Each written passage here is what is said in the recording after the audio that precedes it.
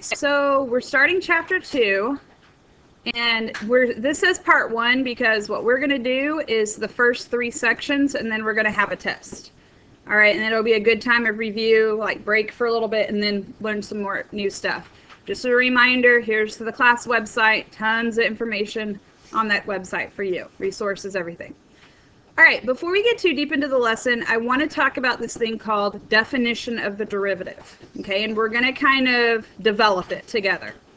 So you already know that a line, okay, a line has the same slope no matter what point you pick. If it has a slope of 2, then that's what the slope is. A line slope does not change. Okay, however, a curve, which would, you know, look something like that, the slope is constantly changing. Like here, the slope is negative, then positive, zero, then negative, and so on. Okay, and so this is what we're really going to focus on in this class. Okay, although we still will do a little bit with lines, particularly tangent lines. And so slope of the tangent line is going to be something you a phrase you hear a lot. Okay, it means the, what the slope at a point is. So let me um, draw a curve and let's say I wanted you to find the slope at this point right here. I would say, what is the slope right there? Well, what I really mean is what is the slope of this tangent line right there? Okay, those two things would be the same. And the way we find this is by doing derivative. Okay, so I'm going to talk a little bit about the formula for definition of derivative, and I'm going to use some of the phrasing that we heard on the very first day of school. Okay, when I kind of told you about what calculus is, we're going to use that. So on this picture down here, the first thing I want you to do is to change that c to an x. It's just a particular x value, and we're just going to call it x. Now there's another x value over here, which we could call x2. What I'm going to do instead is say that the distance between the two x values is delta x. Do y'all remember what delta stands for? Change. Right? So if this is an x value, and then I go delta x more to the right, then the new x value is x plus delta x. Okay, now let's talk about y values. Okay, because what we're about to do, uh, that's a bad picture. Let me redo that. We're about to find the slope of this line. Okay, if I want to know what is the slope of this line, I need to know the y values. So what if x is the x value, then f of x is the y value. It's just f of whatever the x value is. So what would be the y value when we have x plus delta x? Yeah, it would just be f of that thing. And so what this is now, these are the two y values, these are the two x values. So this is two points, right? Do y'all remember what this type of line is called? This is not a tangent line. It's a secant line. And really, anytime you've been doing slope before this class, you've been doing secant line slope. You just didn't call it that and you didn't need to because there was only one type. Um, the way we would find this slope is by doing y2 minus y1 over x2 minus x1, slope formula, or you could think of it as rise over run. So we would do f of x plus delta x minus f of x. That's just like saying y2 minus y1. And in the denominator, it'd be the x's being subtracted. x plus delta x minus x. And normally we have numbers there don't let the notation bog you down. I'm really just kind of developing a formula here, and then um, the notation will get a little bit simpler. Just a minute. Do you see anything, though, that cancels, maybe in the denominator? The x's, right? So the only thing left on the bottom is this delta x. And all of this, even though it seems like it's heavy notation, you've done that before. Okay, what's going to be new all right, and by the way, do y'all remember what type of rate of change this was called? Average rate of change. And if you didn't, that's okay. That's why we're reviewing this today. Okay, so that's all great. That's all basically algebra. Algebra 2, algebra 1 even. You didn't use this notation, you used slope formula, but it's the same concept. So if this was distance and time, this would be your average speed, like on a road trip. Overall, how fast did you go?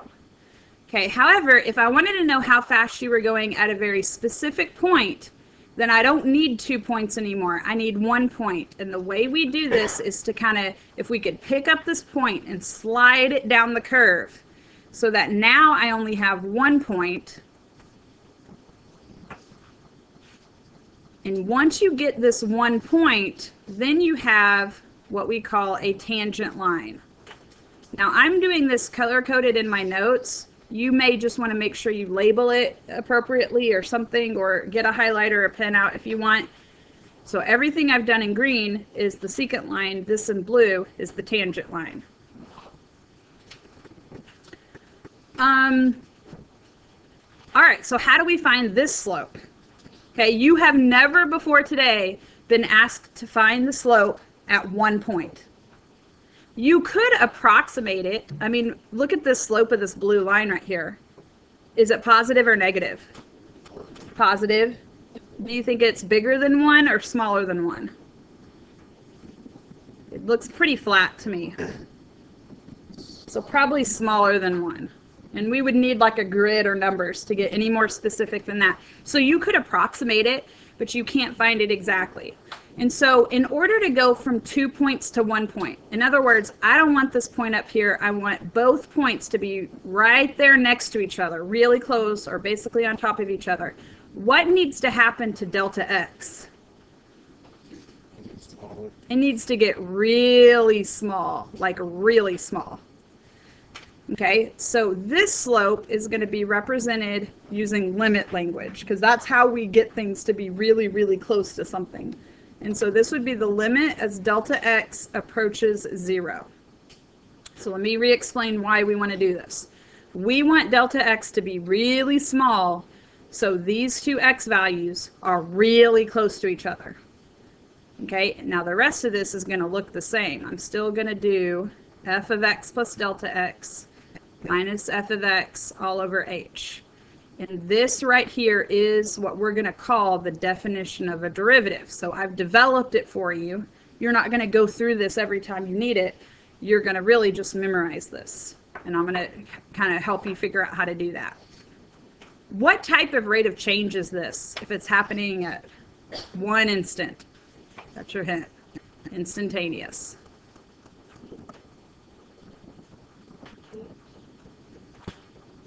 We are going to use H instead. Yeah. so on the next page, we're going to rewrite this formula down, but instead of delta x, we're going to use another letter, and the convention is to use H. Oh, you're like, hey, why'd you write it? Oh, Miss Brooks has just been teaching this too many times and is like skipping ahead in her mind. Thank you. Sorry. I thought you were just getting ahead of me. There should be a delta x down there, right? I'm sorry about that. We are going to call this H. I'm just getting ahead because that happens sometimes. Okay, so on the next page, um, we're this is where we actually really get into the specifics of this. That was kind of to develop the formula. So just to emphasize, the slope of the tangent line is the derivative. So if you're ever like, what's the derivative mean again? Like, what is it? It's the slope of the tangent line. Okay, and so the way we do this is by using this formula. So the limit as, and we're going to use h now instead of delta x. It makes it a little bit easier um, because like x and delta x look an awful lot a lot like, and it can be confusing. So this is the convention that you'll see. This formula, you need to know it. So when you're doing problems with derivatives, my suggestion would just be to write it down when you do it. Um, okay, a function is differentiable. So this word looks like different. Different makes me think of like change, which is derivative. It just means the derivative exists. I didn't mean to cross that off. I meant to underline it. If the derivative exists, it's differentiable. It's like an adjective to describe that you're able to take the derivative. Okay, so there are several notations, and you can thank Isaac Newton and Gottfried Leibniz for these different notations. All right, um, and we could talk more about this on a different day. So this right here is kind of the one we're going to focus more on today. That symbol right there means prime. It means the derivative. Okay, two different people developed calculus at the same time. They developed their own notation, and um, so that's why I we have a different notation, and it's called dy over dx. And you need to be familiar with both of them. What do you think the d stands for? It doesn't really stand for derivative, but it's not bad to think that. It really stands for delta. Okay, change in y, delta y over delta x. All right, and here's another way. Sometimes we see d over dx, and inside is what we're taking derivative of. So you could see a function would be inside there. So I'm going to just throw this out there today. We'll talk more about it another day. Um, but I just, we're going to mostly deal with the prime notation. Okay, so let's look at number one. Example number one, it says find the derivative, and then we're going to find the slope. I know that slope has to do with derivative, and then we're going to write the equation of the tangent line. These three things, you're not always going to be asked to do all three. Like, it could just be the last part, they're all, they're all related, okay? So the first thing, finding the derivative, let's just go ahead and write that f prime of x equals, and let's write the formula the more you write this, the more you're going to know it.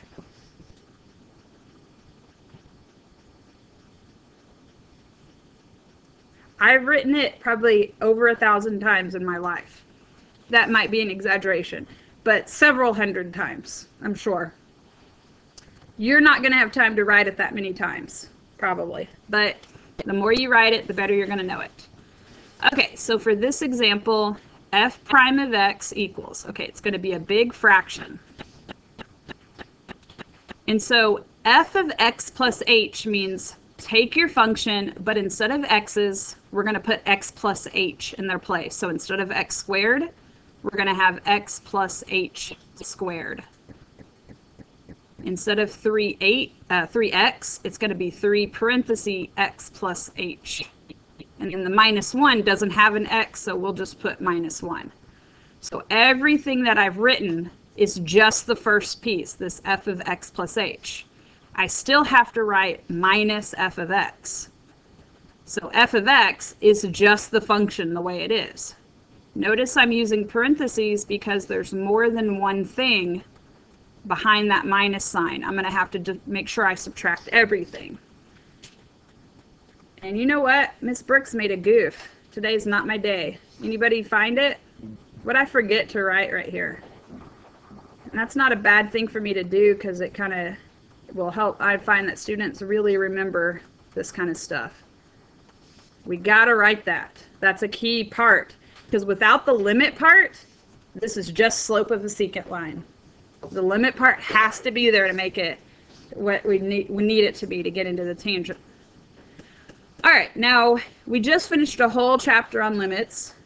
You know that you typically go ahead and take this number and you plug it in for h.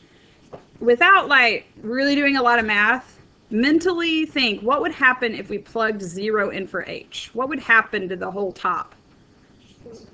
It would be zero. Everything in the front would cancel with everything in the back. And then what would we get on the denominator? Zero. And what do we do when we get zero over zero? we do more.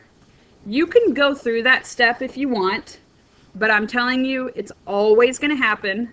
So let's just go ahead and do the do more part. And this do more is going to be some algebra. So I'm going to keep writing limit as h approaches 0 until I'm ready to plug 0 in for h.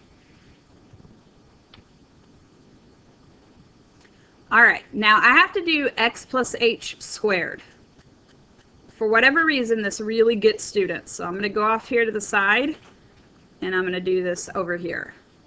Okay, I'm timesing it by itself. x times x, x squared. Outside would be xh, inside would be xh, and then h times h is h squared.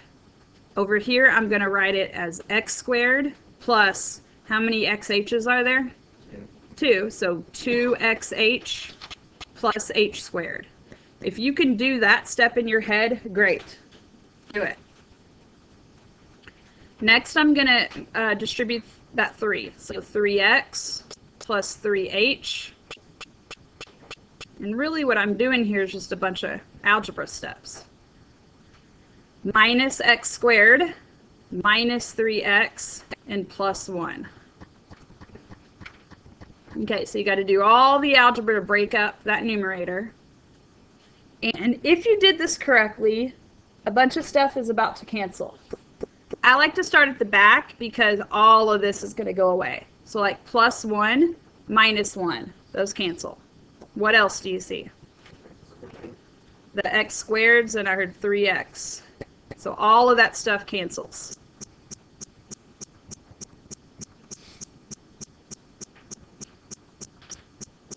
So we still got a little bit more algebra to do.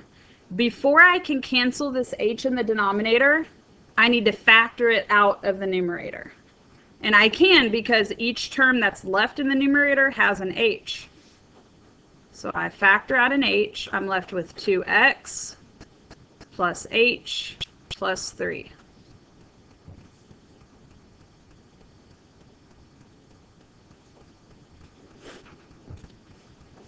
All right, once you factor that h out, now you can cancel it with the one in the bottom. We couldn't do that until we factored it out. Okay, if I plug 0 in for h now, I won't get 0 over 0. What I will get is 2x plus 3. And that is your answer. That is what f prime of x equals. So I'm going to write this. That's f prime of x and it's what we're going to kind of call the slope function. Notice that it's not a number. We're used to slope being a number. Okay, and that's true with lines, but with anything with any curve to it, the slope is not a number, it's its own function. Okay, I know this seems like a lot of steps. I have two things to say about that. One, once you practice it, it won't seem like that many steps. Two, very soon we are going to have shortcuts and you're going to be like, Miss Brooks, why did we ever have to do this the long way if there's shortcuts? Well, not everything has a shortcut, and there are very specific ways the AP test asks questions to know do you understand this process? Okay, so by soon, I mean this week, you're going to know a shortcut. And if you were in pre-AP algebra or pre-AP pre-cal last year, you might remember the shortcut. I'm not going to go over it today, though. Um, okay, so that was all part A, and that really is the hardest part. So part B is find the slope at um, x equals negative 1. So anytime you want to find the slope at a number, what you're finding is f prime, and then at the number that they tell you. So to find the slope, you got to use this slope function. Okay, that's why we call it the slope function to really help you understand, hey, I'm finding slope and we get 1. That's a specific slope at a specific place in the graph.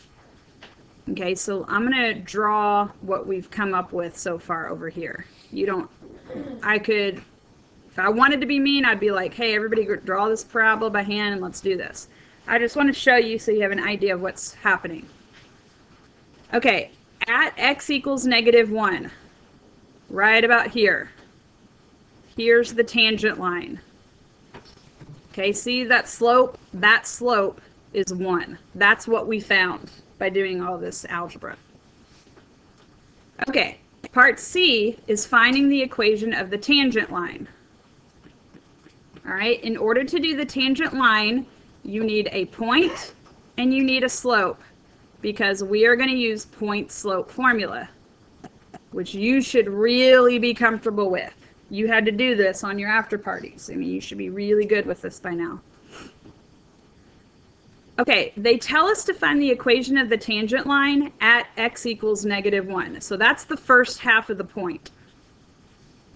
Okay, we still got to find this y value. What was the slope? We just found it. It's 1. Okay, you can even draw a little arrow there in your notes to help you know. They told us in part B, find the slope when x equals negative 1. We use the derivative to find that slope. So the only other piece of information I need is this y value. How, like how long has, has a math teacher asked you, here's an x value, find the y value? Have you been asked to do this before? Yes, for years, since junior high, really. So we're not using the derivative for this. This is something we're going to use the original function for. All right? So right here, this is going to be f of negative 1. Notice there's no prime. This is not derivative stuff. And so this is going to be negative 1 squared plus 3 times negative 1 minus 1.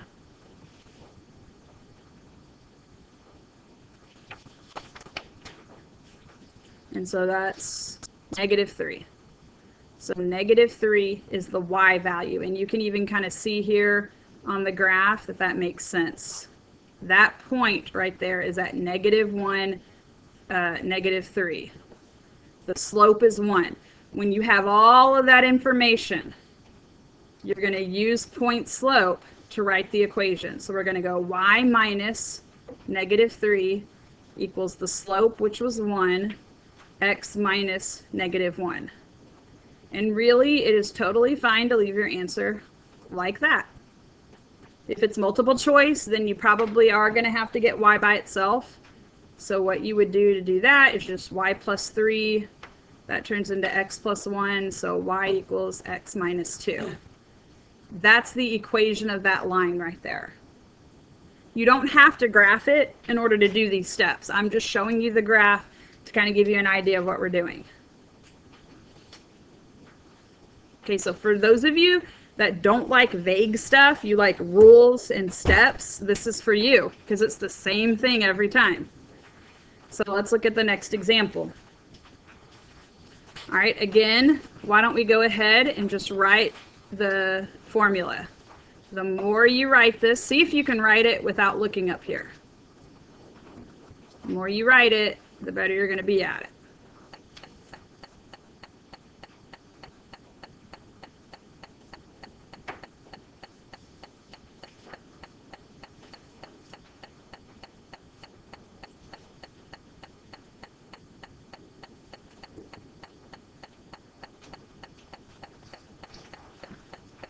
Okay, so for part A, we have the limit as h approaches 0. This is another quadratic, so it should work pretty similarly. We're going to take x plus, plus h and plug it in for the two x's. So that's going to be x plus h squared plus 2x plus h plus 5. That's all of the first part. Then minus f of x. Put a parenthesis there so that you make sure you subtract everything you need to subtract. And don't forget the all over h. We're not doing anything with it yet, but by not writing it, your step is wrong. Okay, go ahead and see if you can break that up and simplify this down and get a final answer on part A.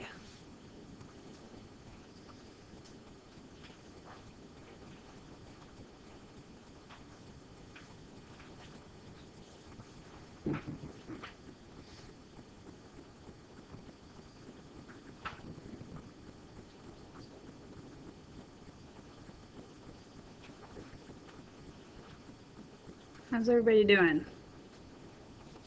Doing all right?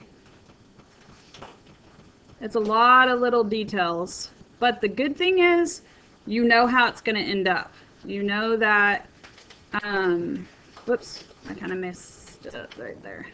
There we go. You know that what you have left should all have an h.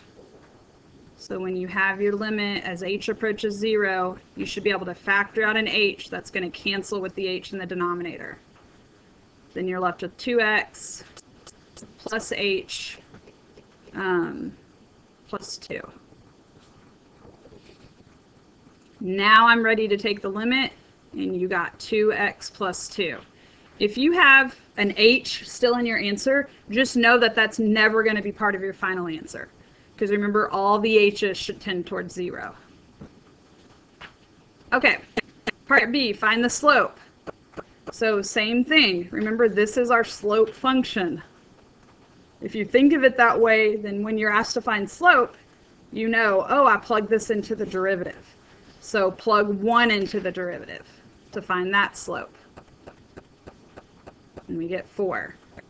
So when x equals 1 on this parabola, the slope of the tangent line is 4. What's f prime of 4? Let's see. 10. And then f prime is 0.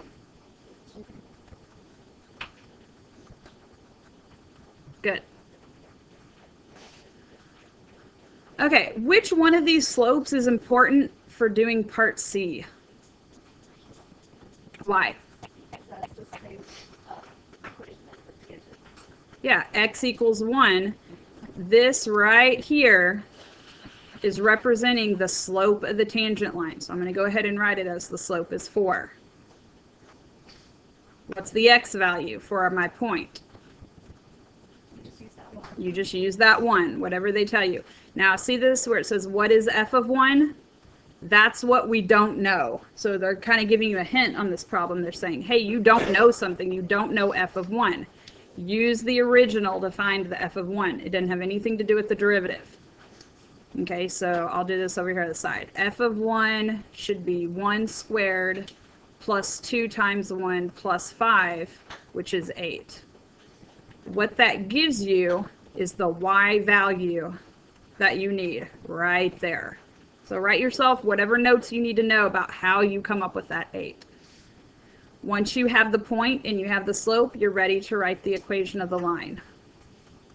And you do not have to simplify it. You can just leave it just like it is. If you did simplify it, then um, you would have 4x plus 4.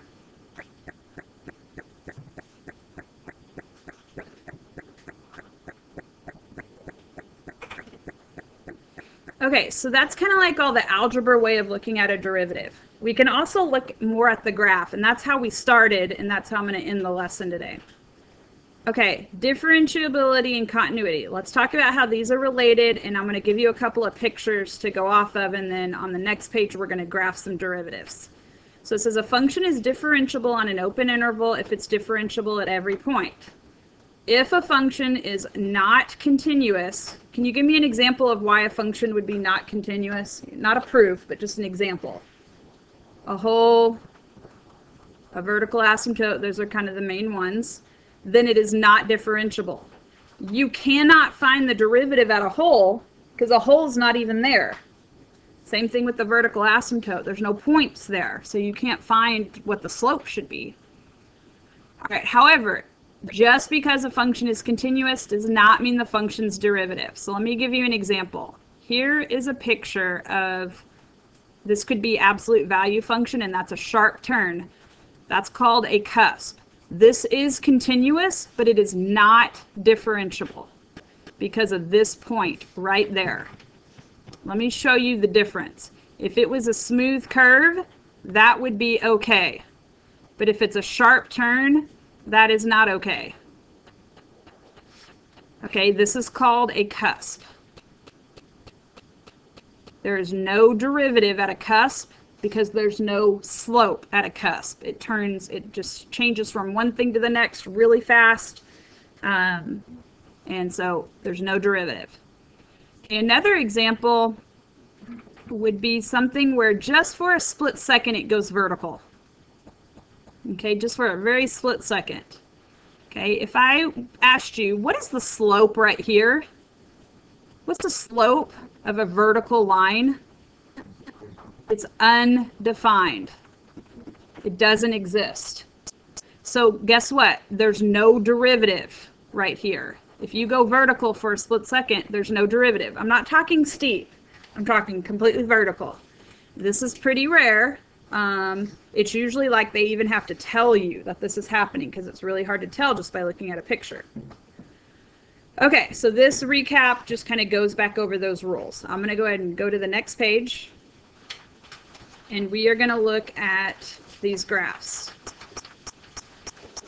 All right, so these are some functions, and let's go ahead and put little arrows on the ends of these. We're just going to do these top two examples today.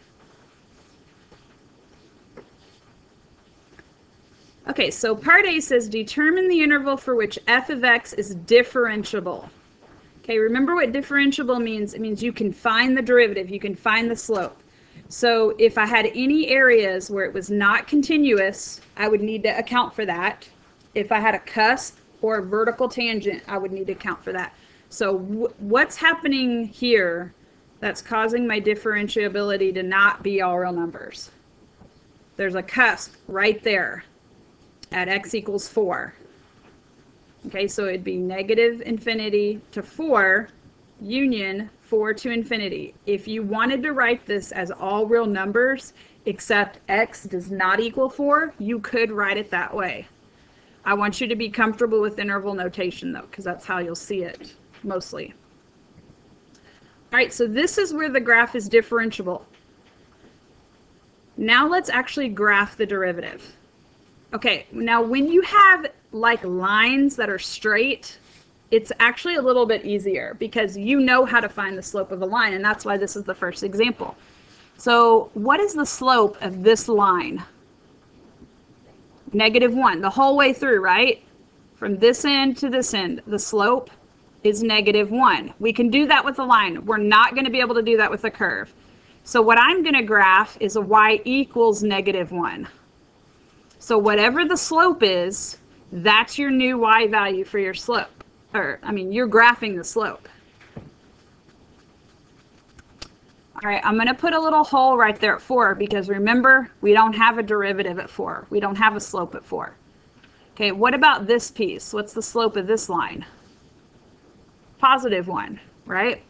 So I'm going to graph y equals positive 1.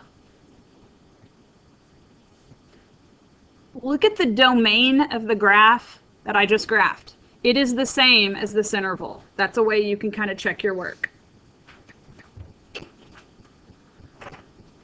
Okay. The examples we're going to have more often are going to have a bunch of curves to them.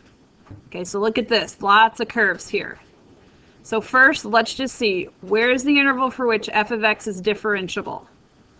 Okay, so what we're looking for is where it's not differentiable. Do we have any places where this is discontinuous?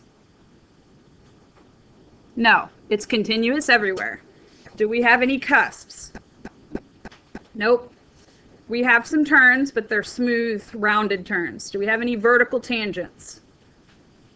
No, it's steep, but it's not vertical. So this is differentiable everywhere.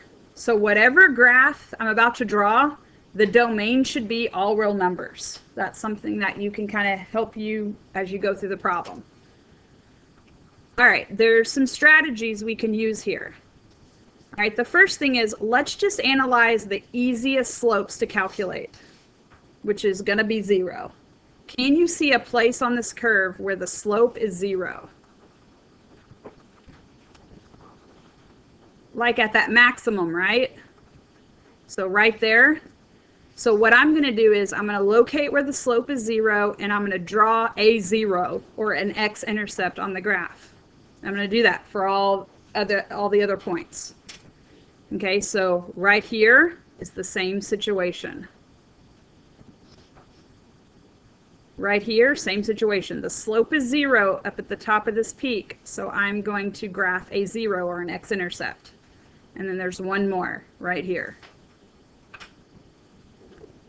So I locate where is the slope equal to zero, and then I graph those as zero points. You know, zeros meaning roots or x-intercepts. Okay, the next thing is I can't say that the slope of this section is positive or, or I can't say like exactly what it is, but I can say if it is positive or negative. Yeah. So the slope here is changing, but it is positive the whole way through, right? Look at this section over here on the left. Positive slope the whole way through. So I'm going to put a little plus sign up there. And what that means is that my graph should be above the x-axis because above the x-axis is where the graph is positive. Okay, what about this next little section? From this peak to this low point, what can you say is true about the slope everywhere? It's negative. So I don't know like how negative, but I know it, it is negative. So it's going to go below And you got to come back up and hit these. It's kind of like when you graphed rationals. Those x-intercepts were like your anchor points. I don't know if this is down far enough, and I don't care. This is just a sketch. Okay, what about the next section? What can you say is true about the slope? Positive. So we're going to go above. And the next section is negative, and if you notice, there's it alternates. That's pretty standard. It doesn't have to alternate. It could go, you know, there are other things that can happen, but we're not going to focus on all the scenarios right now. Now, if I had an equation of the this f of x, I would probably just take the derivative of the equation and then graph that. But this right here is another way to do this. These types of questions are most often seen as multiple choice. So on the AP test, you are not going to have to graph a bunch of these, but you're going to have to be able to pick out which one matches what. Tomorrow, um, you guys are going to get a little bit more practice with this. I'm going to leave something with the sub to show you just a little bit more examples, and then you'll have time to practice it. hmm did you